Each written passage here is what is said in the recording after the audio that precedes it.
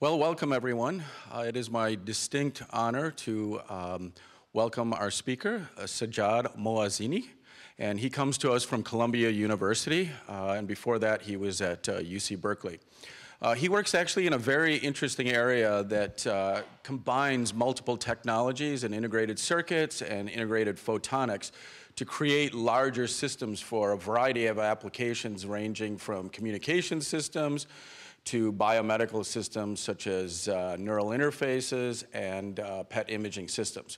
So he'll be talking to us a little bit about that today. I'll just give you a, a brief uh, synopsis of his background. He's currently a postdoctoral researcher in Ken Shepard's group, um, uh, uh, which is the Bioelectronic Systems Lab at Columbia University. His research interest lies at the intersection of integrated system design and photonics with applications in computing, communication, sensing, and imaging and life sciences. Dr. Moazeni received his PhD degree in electrical engineering and computer science from UC Berkeley in 2018, focusing on large-scale, energy-efficient electronic photonic integration. Uh, he received a BS degree in electrical engineering from uh, Sharif University of Technology, Tehran, Iran, in 2013, and he was awarded the UC Berkeley Graduate Division Fellowship in 2014. So please uh, welcome Sajjad.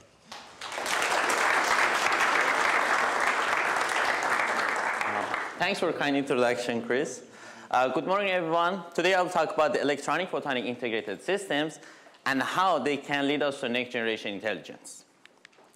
Integrated systems have been transforming our lives in many ways, and very recently they gave rise to exciting applications such as machine learning and Internet of Things. Now these applications are generating or demanding more and more data, which in turn require, requires larger and complex models for the processing, and as a result, today this created demand for higher computational power and intelligence more than ever before.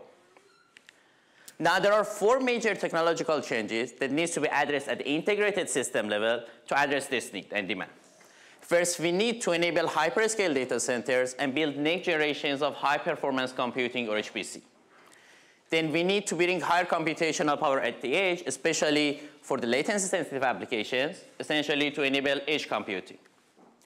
Next, smart devices are becoming more and more autonomous these days, so we need to equip them with more advanced and versatile sensor imagers. And finally, we need to develop new type of biological tools that helps us to understand complex biological systems such as human brain better so that we can shift our sensing and computing paradigm toward more bio-inspired and efficient approaches. Now, looking back through the history of the integrated system, we realized that the key enabler was always the CMOS technology. In addition to the Moore's law, which of course give us larger number of transistors providing higher computational power, researchers always have the tendency to look into these platforms to see how we can leverage their capabilities to unlocking new functionalities and eventually enabling newer applications. For example, around 20 years ago, researchers tried to see how we can just reuse or repurpose metallic material uh, originally used uh, as interconnect layer in these processes to build on-chip inductor elements. And that invention of the first on-chip inductor element led to the single chip CMOS radio. And today we have tens of such radios in our smartphones.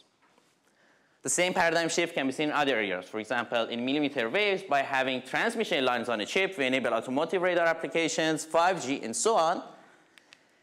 And very recently, we showed that we can also exploit the features of advanced CMOS processes to bring optical and photonic capabilities into these platforms as well, and this can potentially unlock many, many interesting functionalities for applications in computing, communication, light-based communication, sensing and imaging, cell biology, neuroscience, quantum computing, and so on. So the applications in this domain are endless. And I believe by merging advanced electronics and photonics, we can make an era for system on a chip. Now, in my PhD, I showed how efficiently we can bring and merge electronic and photonic together and use some of these new technology and capabilities to solve some of the major challenges to get to reach the future generations of HPC, supercomputers, and data centers. This major challenge is the need for ultra-high data rate interconnect with high energy, cost, and area efficiencies. Looking through the hierarchy of interconnect in HPC or data center, you can easily see that there is certainly demand for ultra-high data rates at every different level of these networks, starting from inter-rack or intra-rack communications, where today we need tens of terabits per second bandwidth, all the way down to a single compute node like a CPU, GPU, or even AI accelerators demanding terabyte per second memory processor bandwidth. And as a result, we see the shift toward the heterogeneous packaging and integration, where we try to bring different technologies together to address this need. For instance, today we see HBM high or high bandwidth memories are uh, co-packaged with the GPU, CPUs on the interposer to lower the uh, memory latency and provide higher bandwidth. And now if I can make photonic and optical transceivers at these high, rate data, uh, high data rates and at uh, ultra high energy cost and area efficiencies, I can certainly bring this new type of photonic transceivers into these platforms and solve this challenge. Now, silicon photonic has been emerged as a viable solution for this demand. Silicon photonic is trying to replace component material traditionally used in optical transceivers with silicon. And today we see every major foundry has its own silicon photonic process. However, even the state-of-the-art silicon photonic processes are incapable in addressing this need because of their large energy and cost inefficiencies, and they have still very limited applications, for example, in the case of pluggable solution for inter-rack communication. Also, I want to note that since all of these processes are being optimized toward the specific application of optical interconnects, they are not scalable. So they cannot accommodate thousands of photonic devices with tight pitches in their platforms, which is uh, absolutely essential to build sensors and imagers. So as I said, today silicon photonic transceivers are very inefficient. They're running still at 30 picojoule per bit energy efficiency with the cost of $5 per gigabit per second. Now, if you take these two numbers and see how we can reach to an exascale computing node, you can easily see that we need to burn 6.8 megawatt power and, bear, and, and spend $200 million only for optical interconnects in an exascale HPC node. And these numbers are actually getting worse and worse considering the fact that memory processing bandwidth requirements for advanced CPU GPUs are exponentially increasing these days. And these numbers are absolutely out of the energy and cost budget. Now to see where does these inefficiencies are coming from, we should notice that the integration platform, which merges and brings in the electronic and photonic together, sets the limit for the efficiency and performance of the system. There are two known approaches to do so. Uh, in the first approach, which we call it monolithic, we build our electronic and photonic devices monolithically on the same chip. In doing so, we have the closest proximity of electronic and photonic devices. We can have potentially large number of uh, photonic elements because of the high density of interconnects on a chip. It's a single chip solution, so it's low cost. However, all the demonstrations done in this domain ended up using all CMOS processes, and that eventually killed the performance and efficiency of the system at the end. Now, on the other hand, you can go with a 3D or hybrid solution, where now you have the ability to choose and optimize your electronic and photonic platform independently. But there are many disadvantages in doing so as well. First, you have this large parasitics interconnection between the photonic and CMOS chips, uh, which dramatically degrades the performance and efficiency of the system again. You cannot have as many as photonic elements that you want because of the limitations on the number of interconnects between these two platforms. Uh, the cost is absolutely higher since now you have to fabricate two separate chips and pay for the cost of integration.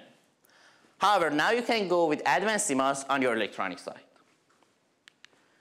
Now, in order to bring the best of these two solutions together, I propose to use monolithic photonics in advanced CMOS processes.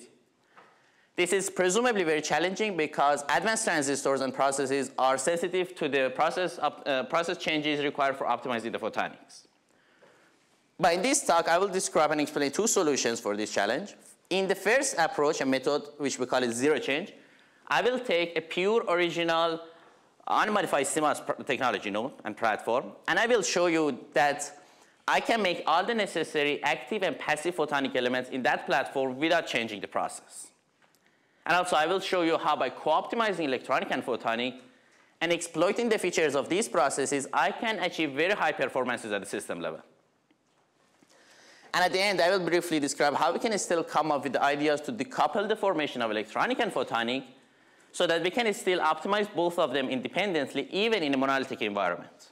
And this solution essentially unlocks having such photonic monolithic photonic capabilities into the state-of-the-art nodes of, let's say, sub 10 nanometer. Now let's first see what do I mean by an advanced CMOS node. The performance of a CMOS technology is mainly defined by the FT of the process. FT is, is the frequency at which the current gain of a single transistor device drops to 1. And it turns out this factor, FT, directly affects speed, energy efficiency, sensitivity, and all sorts of performance metrics of optical transceivers. Now here, I'm showing you FT for different technology nodes. And if you notice, FT hasn't been improved since around 32 nanometer technology. This is mainly because of the high focus of the scaling down trend on optimizing, uh, on increasing and optimizing the density of the transistors and improving the energy efficiency of the electronics and compromising that with the speed of a single transistor device. So around 32 nanometer, 4 or 5 nanometer nodes, we're getting fastest electronics. And if you want to go further for higher density of the electronics and better energy efficiency on the electronics, you can use sub 10 or 20 nanometer nodes. Now, next, let's see how can I bring optical and photonic capabilities in any CMOS platform. The first step for having optical capabilities in any technology is to build the most fundamental optical device, which is a low optical loss waveguide. So here I'm showing you a very simple picture for an optical waveguide. We need to have low optical loss material with high refractive index as a core, like silicon. And we need to have low refractive index material as a cladding to confine the light efficiently inside the core. A good, cladding, a good candidate for cladding in a CMOS process can be silicon dioxide. Now here I'm showing you four major technology platforms that we're using today to build our electronics and transistors. And let's see in which of these processes I can find a sandwich structure like this naturally without any change so that I can potentially have photonic capabilities using the zero change approach in that platform and in which processes I need to change the material, I need to change the process, add new material to build such a structure. All CMOS nodes are using bulk CMOS processes, and we build transistors directly in fully silicon substrates. Then more advanced CMOS nodes are 32 nanometer, 45 nanometer nodes are using silicon and insulator wafers, or SOI, and we build transistors in this crystalline silicon region known as the body of the transistor. And for the state-of-the-art CMOS, again, we are back to the bulk CMOS uh, wafers. However, we form our transistors in 3D structures called FinFETs. Now, if you look into all these four platforms, I can potentially use body of the transistor as the core of the waveguide and use waveguide in this region. However, the thickness of the, uh, the body in the FDSOI platform is not thick enough to provide efficient light confinement. So the only platform that I can use uh, to build photonics without any change is the FDSOI node. And for having such capabilities in any other technology platforms, I need to change the process. So as I said, I will first show you how I can make the photonic uh, uh, systems in 32 nanometer and 45 nanometer technology nodes, where I have the luxury of using fastest transistors and CMOS technologies. And at the end, I will show you that how I managed to minimally change the bulk CMOS process and uh, show the photonic SOC in a 12-inch wafer commercial bulk CMOS platform for the first time. So starting from the zero change process, I'm using IBM or Global Foundry SOI CMOS technologies. These are 12-inch wafer commercial platforms. Uh, they can publicly access through multi-project wafer programs. And as I said, since they have very fast electronics and transistors, they've been using fabrication and design of high-performance pro uh, processors for gaming consoles, personal computers, and servers starting from the 45 nanometer node, this is the cross-section of the 45 nanometer SOI CMOS process. The key enabler for having photonic capabilities in this platform is this sub-100 nanometer thick crystalline silicon layer region, originally used as the body of the transistor. So I'm going to use that to build waveguides, grating couplers, and using other features of the process like polysilicon, silicon germanium available, doping implants. You will see later on through this slide that I can make all the necessary active and passive photonic elements as well. So essentially, I'm getting all these photonic capabilities for free since there is no change or modification to the process. Again, I'm getting the closest proximity of electronics and photonics in this approach, in this platform. And I only need to perform a single post-processing step to unlock this capability in here. And that is to remove or away the silicon substrate underneath the photonic region. This needs to be done because the thickness of the buried oxide, which is about 200 nanometer, is not thick enough to prevent optical light leakage from core of the waveguide to the substrate. So we recently used this technology and showed a microprocessor that can communicate to the memory side through the light. Here you see the die photo for the chip. It has a dual core RISC-V microprocessor, one megabyte memory cache, and multi-wavelength optical IOs for communication to the memory. Overall, the chip has millions of transistors, hundreds of photonic devices. On the bottom, you see the critical subblocks of an optical system or an optical link we, uh, we demonstrated in this work. So we have diffraction grating couplers, which brings in and out the light from the fiber to the chip. We use silicon germanium for photo detection. And thanks to the advanced lithography capabilities of these processes, we managed to build high quality factor resonators and ring resonators and use them as modulator resonant photodetectors and filters and so on. Notice because of the high level of the complexity and integration in these platforms, uh, we're avoiding using inefficient bulky devices like Mach Zehnders. Now, putting together many of these devices along with fast electronics, you can perform more interesting electronic photonic functionalities. As I said, here we had uh, multi-wavelength optical IOs running at moderate data rates of 5 gigabits per second. This is the agenda for the rest of the talk. Through this talk, I will show you how important it is to have a good understanding and insight on devices, process and integration, and system and circuit in order to design high-performance electronic photonic integrated system.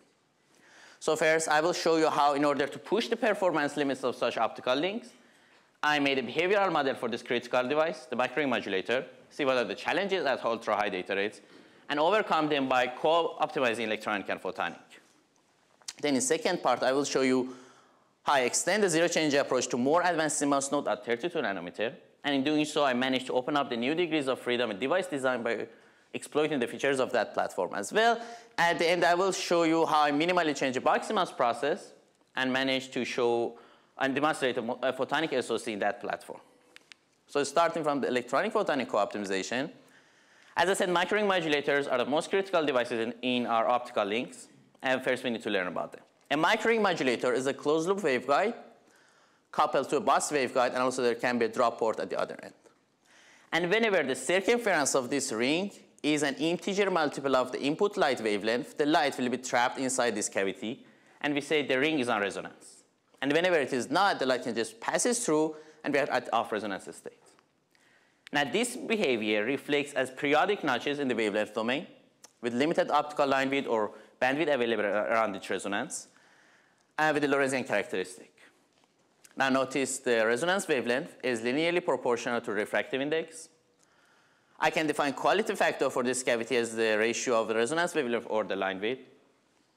These are very compact devices with the radiuses of only 5 micron, which makes them ultra energy and area efficient uh, photonic elements that can be used as a modulator, filter, and etc.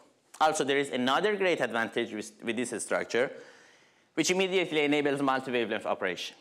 If I, for example, cascade a bunch of these rings with slightly different radiuses over the same shared bus waveguide, I can simultaneously communicate the data over multiple optical carrier wavelengths. And this capability is called, uh, through the same fiber or same waveguide, and this capability is called wavelength division multiplexing or WDM. Now let's see how I can use this structure to build an optical link. If I add p-n junctions in these cavities, by applying different voltages over the junctions, I can deplete or inject the carriers inside the ring. Then based on the carrier plasma effect, the change in, in, the density of the free carrier causes the change in the refractive index, which eventually shifts the resonance of the ring. Now, if I have a laser at the input of the modulator at wavelength lambda zero, and let's say I'm switching between these two resonance states, each one corresponding to the data bit I'm going to transmit over the channel. I can essentially perform on-off key modulation in the frequency domain by creating two different optical intensity levels at the output of the modulator. The distance between these two optical intensity levels is called optical modulation amplitude, or OMA. Now, similarly, on the receiver side, I can use this structure as a filter, and using a photodetector, convert these optical intensity levels back to digital domain. I can do that as long as I meet the minimum OMA requirement of the receiver, which is set by the sensitivity of the electronics on the receiver side. Now, in order to, uh, to see how can I push the performance limits of such optical links, I made a behavioral model for this device ca that captures all the re relevant behaviors, including electrical behavior caused by the p-n junctions, optical behavior, the Lorentzian characteristic, and thermal behavior. And now using this behavioral model at the system level simulation, I can see what are the challenges for higher data rates. The first one is the limited modulation bandwidth, and the second is the thermal sensitivity of the ring that I'm going to talk about today. But through this simulation, you can study other type of non-idealities such as nonlinearity as well. So the first challenge is the limited modulation bandwidth and the trade-off that exists between the optical bandwidth of the ring and the OMA. As I mentioned earlier, since there is a limited optical bandwidth available around each resonance, as we want to move to our higher data rates, we need to increase this bandwidth, and that degrades the OMA. Here you see the effect that as I move toward the higher bandwidth rings, the shape of the Lorentzian becomes broader, the slopes on the sides are smaller, and assuming a, a fixed capability to shift the resonance of the ring, the optical intensity levels created at the output of the modulator are closer to each other, meaning that the OMA is now degraded. And now I need to pay the extra energy penalty over the laser side or transmitter to recover this degraded OMA so that I can still meet the minimum OMA requirement of the receiver to transmit the data. Here you see the same effect in the simulation that as we increase the optical bandwidth, OMA drops, and one way to boost it up is to apply higher voltages over the junctions, which comes with its own energy inefficiency at the transmit side. There's also another source for the bandwidth limitations caused by the limited RC time constant of the PN junctions. So in this work, overall, I'm using higher order modulation to increase the spectral efficiency. I'm using PAM4 modulation, essentially doubling the data rate within the same bandwidth by transmitting two data bits per symbol as opposed to a single bit transmission per symbol in the, NRZ, in the conventional NRZ case. However, you can argue that first of all, you have four levels so the adjacent levels are closer to each other than the, the total OMA. So you may need to consider the energy penalty on the laser side to spread out these levels so that you can still differentiate them and detect them with the same receiver sensitivity. And on top of that, the receiver is going to be more complex because it needs to detect four levels, so you need to have more samplers, burn more energy. But through this simulation and modeling, I can see how the overall energy efficiency of a link is changing by switching from NRZ to PAM4 modulation for every different link data rate. So here I'm showing you the benefit we are getting in terms of the OMA by switching from NRZ to PAM4 at every different link data rate, assuming two different drive capabilities. So first, I can consider the fact that the, in worst case scenario, for the penalty of the optical uh, uh, and the optical source to, spread, uh, to increase that and spread out these levels. And on top of that, the worst case energy penalty on the receiver side. And still, you see that at certain data rates, even in terms of the energy efficiency of the whole link, it is beneficial to switch from NRZ to PAM4. And the question is that, how can I generate these multi-level optical intensity levels efficiently at the output of my modulator? And to answer that, I will first show how we build our microring modulators in this, in this process. Here's a 3D rendering layout of a microring modulator in 45 nanometer SOI node. We are using the source drain doping implants to activate these cavities. Uh, we have interleaved planar, uh, planar junctions along the ring. And I have also an embedded heater structure, resistive heater structure, built in the same crystalline silicon region inside the ring. And you will see later on how can I exploit that to overcome the thermal sensitivity challenge, an issue of the ring, solve that. So here my idea is that since I have this segmented structure, I can drive each segment independently. Meaning that by depleting just a certain uh, number of the segments, I can control the amount of resonance shift and eventually digitize the optical intensity of the light at the output of the modulator. I call this device an optical digital to analog converter, or ODAC, which, uh, since it can essentially translate the digital data directly to the optical domain. For instance, in the current design, I have 64P and 64N junctions, enabling me to create up to 64 uh, different optical intensity levels at the output of my, my modulator, which is equivalent to a 6-bit binary optical DAC. Quick question? Yes. Um, I know it's very early for these type of devices, but do you take considerations of like process and temperature variation and how that affects the different levels as they come out? Yeah, and I will actually talk about that. That's the second challenge, thermal sensitivity. Thanks for asking. So here, I, through this uh, simulation and modeling, I can see what are the benefits of using optical DAC versus the conventional way of having an electrical DAC deriving a microring modulator. First of all, this shows much higher linearity.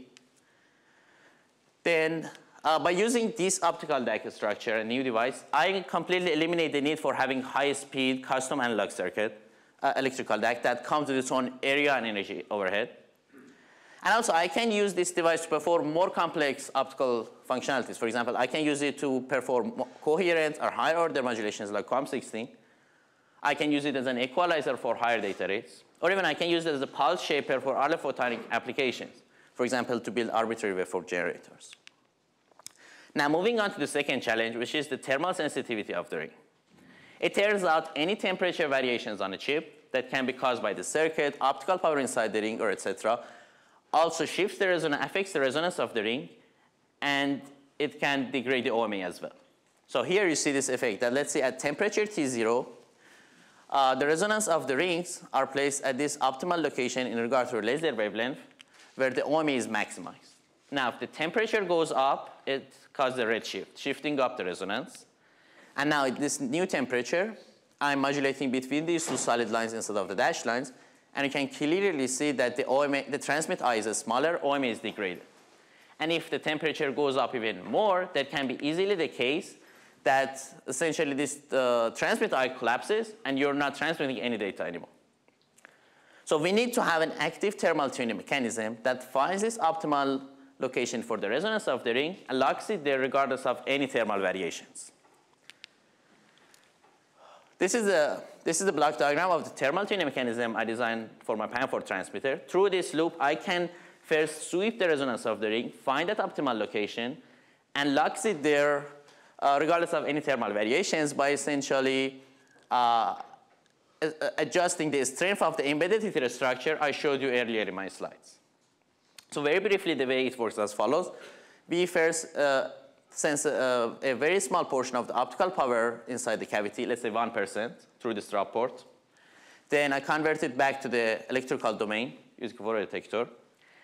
Next, by integrating over this photocurrent for two consecutive transmission windows and knowing the statistics of the PAM4 symbols I'm transmitting over the channel, I can estimate what are the optical intensity levels corresponding to each of these four levels and the separations. And then using a, a digital controller, I can adjust the strength of the embedded heater structure to contract with these thermal perturbations happening to the ring and make sure the resonance is going to be locked in that optimal location.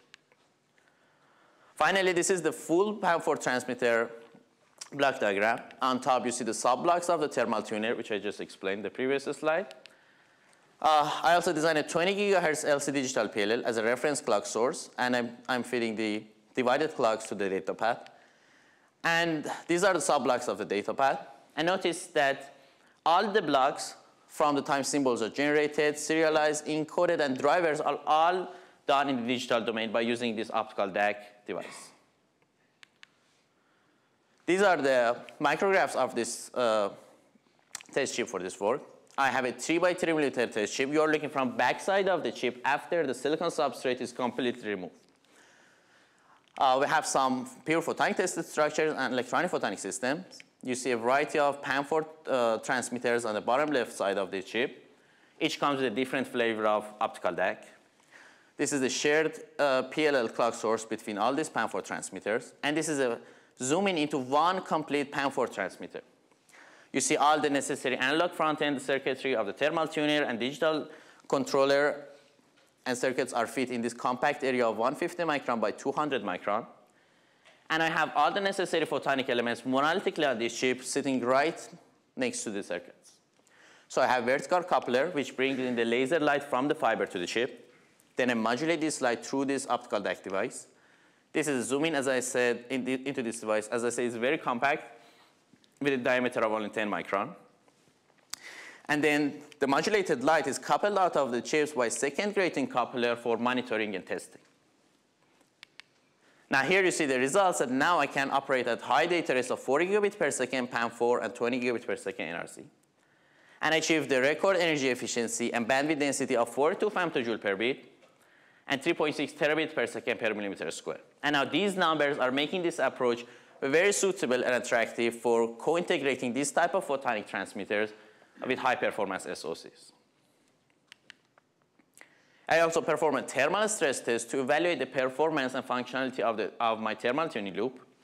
So here, by turning on and off the different PAM4 transmitters around the main transmitter under the test, I can create a thermal stress pattern for that transmitter.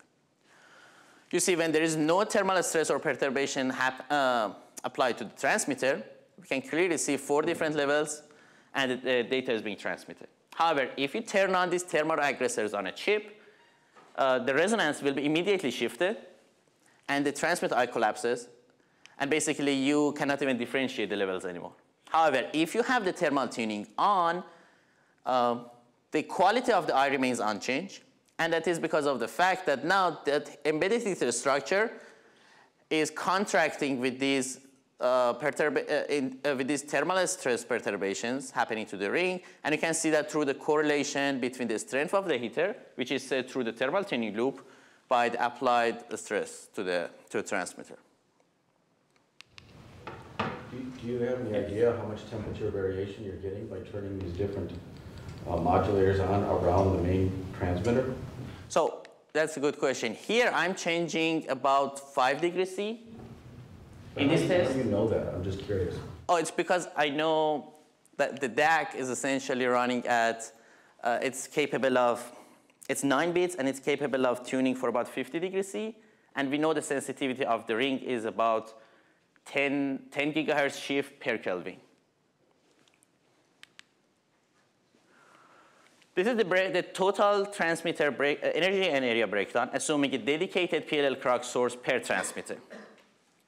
The complete transmitter is taking 0.06 millimeter area, and notice that only 16% of the area is taken by the photonics. And this number can be even shrink down to below 10% by optimizing the floor plan. Now, similarly, on the energy side, where I need to spend 700 femtojoules per bit, about 60 femtojoules per bit is only taken by the photonics. And now let's see how using this new device and this new platform, I improve the energy efficiency of today's silicon photonic transceivers. So first of all, by moving from a 3D and hybrid platform to monolithic, now I significantly reduced down the interconnect, uh, the parasitic interconnect between the devices, uh, between the photonic devices and electronics. And that helps me to improve the sensitivity of my photonic uh, receiver and also make it more energy efficient. Then on top of that, using this new optical DAC device and co-optimization methods versus the conventional modula modulation approaches, I improved the efficiency of, the energy efficiency of trans, uh, the photonic transmitter by more than 10x. And finally, since I achieved this ultra-high data, uh, bandwidth, uh, bandwidth densities of terabit per second per millimeter square, now this tiny transceiver chip can sit very closely to the CPU GPUs on the same interposer platform, meaning that the electrical link connecting this electro-optical bridge chip to the, uh, processing element like a CPU or GPU is now only on the range of millimeters, which helps me a lot to save the energy on, of the electrical interconnect and link between these two chips. So overall, I'm improving the energy efficiency of the whole photonic transceiver by about 7.5x. Now moving to the second part, here I, moved, I extend the zero change approach to a more advanced CMOS node of 32 nanometer from 45. So by moving from 45 to 32 nanometer, I improved the performance of and speed of electronics by about 30%. And 32 nanometer is a more complex node. It's in fact the first CMOS technology nodes with, uh, that comes with the metal gate high-k materials. And you will see in the next slide that has some nice extra features that I'm going to uh, show you that I can exploit them to improve the performance of the photonic devices even in this, uh, by moving to, to this new node. Overall, this work features uh, fastest electronics ever monolithically integrated with the photonic elements. So all those CMOS, CMOS platforms seem to be very constrained environments. If you look carefully into details of these processes, you can always find the features that can be exploited to your advantage to open up the new degrees of freedom in device design and improve the performance of the photonics and eventually the whole system. Here is one example in this work. This is the 3D rendering layout of a resonant photodetector by embedding a ring of silicon germanium available in these processes inside the ring, we, uh, we use this ring both as an optical filter plus photodetector. However, in the 45 nanometer node, we had to use embedded silicon germanium, originally used as a, as a source drain of PMOS devices. And it had the poor germanium concentration of below 19%. By moving to this new node, I realized that there is a new silicon germanium material available and by studying model and modeling that, I realized that the germanium concentration is now much higher at the levels of 40%. Then I redesigned this device using this new material, and I managed to show that I can improve the, uh, the performance of our, our resonant photodetectors, both in terms of the quantum efficiency and the electro-optical bandwidth by better than 2x. So now in the zero change approach, we have uh, photodetectors with bandwidths of better than, much better than 12 and a half gigahertz. These are the micrographs for this work. you see that I managed to show, again, passive and active photonic elements in this platform as well.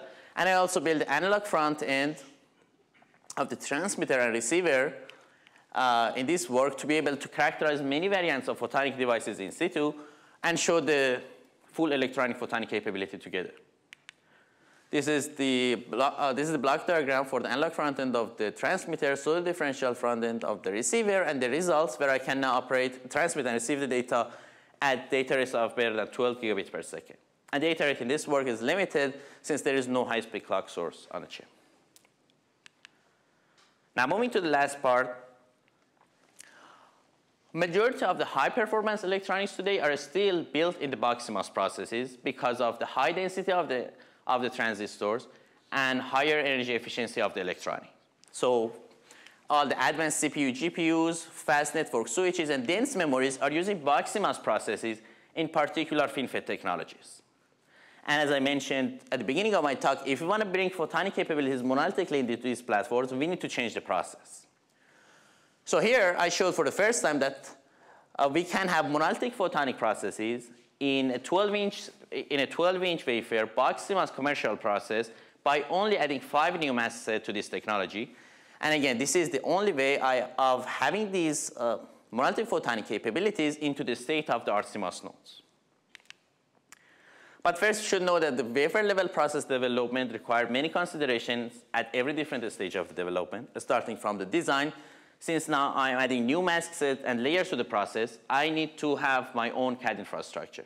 So here I made the process design kit that can be used for modeling, simulation, and even check the conformity of our designs with the manufacturing rules.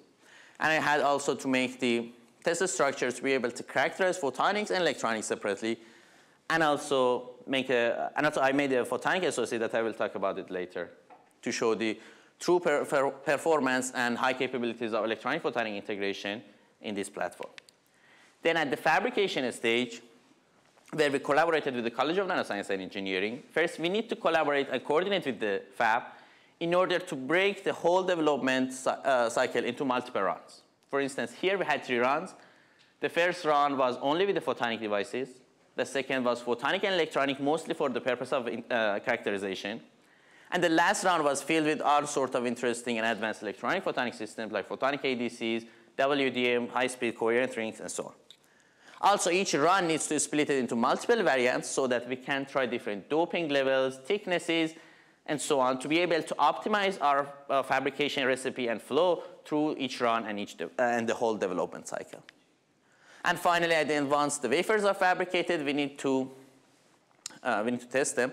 So I made a test setups and structures to be able to extract the, property, the electro-optical properties separately and together, both at the wafer level and chip level. And finally, see eh, what is the performance of the whole platform. So here we, we use the 65 nanometer bulk CMOS process. And you can see the cross-section of this technology after adding these five new masks to this technology, to the, to the process. If you recall from the beginning of my talk, there are two main issues preventing us from having photonic capabilities in a bulk CMOS platform without any change at the very beginning.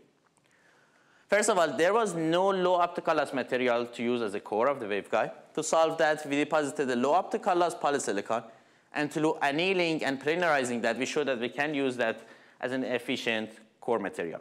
Also, there was no medium to confine the light in, as, uh, to, to use as a cladding to confine the light efficiently inside this core.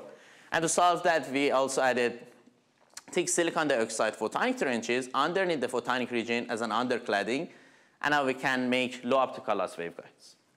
On top of that, we added the partial etch step to form ridge structures and build grating couplers and two more mask sets for the P and N doping implants for active devices. And finally, you can see the SEM of these uh, Uh, some of the devices in this, in this work. We have passive elements like grating couplers, active photonic devices like micromodulators sitting right next to the circuits. On the circuit side, we have both custom analog circuits and fully digital sub-blocks. And I want to note that all these digital blocks are done using the conventional VLSI flows or using the original 65 nanometer technology node standard cell libraries without any change. Now, in order to show the high performance of electronic photonic integration in this platform, I made a photonic SoC uh, using these, inf these infrastructures. However, since I'm adding these new layers and masks to the process, there are some, again, new consideration that needs to be taken into account by co-designing electronic and photonic. For instance, on the circuit side, I had to use more advanced circuits like building high, high swing drivers to overcome the limitations over the shift capability of the rings. On the devices, we have some ideas to combine the drop port of photodetector, for example, with the modulator to boost up the quality factor. And even at the floor planning and design, I need to be very careful with the proximity and meeting the density requirements of these new layers and make sure they're compatible with the original layers of this process. Now, finally, you can see the photos of the first run with electronic and photonic, 12-inch wafer fabricated at CNSE. Each wafer comes with about 70 reticles. Here you can see a wire bond package of one of my photonic SoCs. This is the die photo for the chip. It can support up to four independent transmitter and receiver WDM optical links. I, I intentionally designed it in this modular fashion to be able to characterize many, many variants of photonic elements in situ. Overall, the chip has about 32 million transistors and 200 photonic elements. You can see the zooming into one of the one, one transceiver slides where I designed all the necessary analog circuits of the transmitter, receiver, and clocking blocks. And we have also all the digital circuits, controllers, and so on in this region. And these are the zoom-ins into critical subblocks of optical systems here. So first, I characterize photonic devices, and then also I embedded this uh, ring oscillator structure with a counter in each of these slices to be able to probe the how, how the performance of electronics are changing after we modify this technology, and what are the variations. Overall, we achieve quality factors of better than 5K, a bandwidth of better than 10 gigahertz, and responsivities of better than 10%. And after testing these, these uh, structures, we concluded that the performance of electronics remained unchanged after we modified this process, and there's no significant inter-die or intra-die variations. This is the block diagram for the transmitter and the receiver, and you can see the electro-optical results where now it can transmit the data uh, with data rate of 10 gigabit per second per channel, and detect it and receive it on the receiver side with the bit array of better than 10 to minus 10. This is the summary of all the demonstrations in this presentation. So first I showed you how by co-optimizing electronic and photonic, I achieved world record energy efficiency and bandwidth density of optical transmitters in a zero change process. Then I showed you how I extended zero change approach to more advanced CMOS node of 32 nanometer. And finally, I showed you how I managed to change a bulk CMOS process for the first time minimally and show that I can have photonic, SOC, uh, photonic SOCs in a bulk CMOS platform. Now, recently, I'm developing such electronic photonic integrated systems for the application in neuroscience. Today, there is a great need and demand for optical uh, methods for neuroscience community with the advent of optogenetics, new imaging, and tomography schemes. And if we can reuse this existing CMOS infrastructure for these devices, we can, make them, uh, we can significantly improve the performance, efficiency of these devices. We can make them wireless, combine multimodalities, and so on. So there are many advantages for developing such electronic photonic integrated system for the neuroscience community.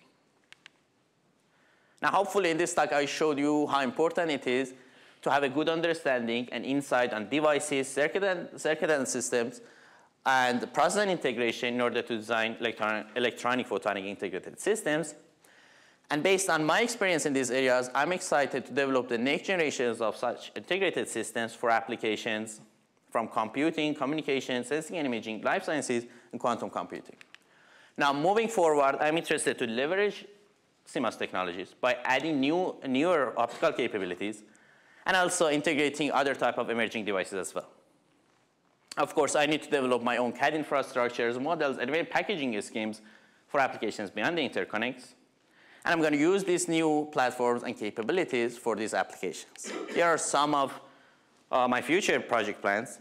So on the computing side, I'm interested to work on the new type of emerging optical switching networks that can drastically improve the compute time of computationally intensive applications for the servers and supercomputers. Also, I want to work on the robustness and uh, energy efficiency and data rate of the future generations of optical links as well. On the communication side, I'm excited to build the free space optical communication links to provide tens of gigabit per second wireless bandwidth for applications such as VR, and also see how can we use RF photonic techniques to indirectly facilitate the millimeter wave band solutions for these applications. One famous example that I want to work on uh, on the sensor side is the LiDAR system. Today, LiDAR systems are still super expensive, bulky, and mechanical. And now that I have these platforms where I can have thousands of photonic elements with very tight pitches, I can, use, I can uh, using techniques like phase arrays, I can significantly improve the efficiency and performance of these, uh, these devices. Also notice having advanced electronics right at the sensor node enables me to perform all sorts of interesting data processing, uh, encryption, and transfer uh, in these single chip solutions. And it can be used for other type of sensing as well. And finally, for the life science applications, I'm planning to use these ultra-sensitive photonic elements to build label-free molecular sensors and also develop such electronic photonic integrated platforms that can operate at the near infrared and visible light ranges. And they, uh, that has abundant applications in cell biology and neuroscience. For, for example, you can use them for fluorescence immunoassay, DNA and genome sequencing. You can use them to build new type of neural implants and so on. And finally, I want to thank and acknowledge my advisors, collaborators, and funding agencies. Thank you.